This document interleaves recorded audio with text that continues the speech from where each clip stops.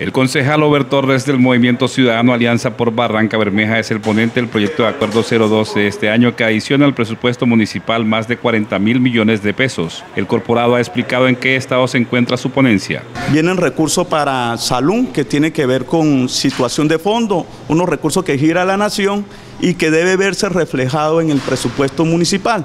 Igualmente vienen recursos para el tema de educación, para el tema de proestampilla, lo que tiene que ver con los ancianos, eh, la procultura, eh, medio ambiente, lo que tiene que ver también con el programa del PES y vienen también lo que tiene que ver con saneamiento básico.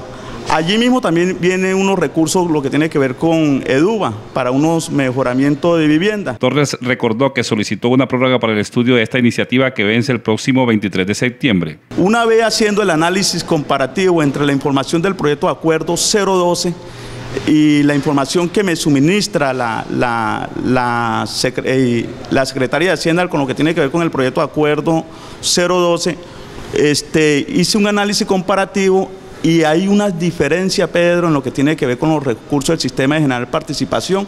Igualmente también hay una, eh, la certificación emitida por los bancos, también hay una diferencia que tiene que ver con los recursos de cultura y, lo, lo, que tiene que ver con lo de la tercera edad. Para el corporado se requieren todos los soportes para avanzar en esta adición presupuestal. Nosotros tenemos toda la voluntad de presentar dicha ponencia.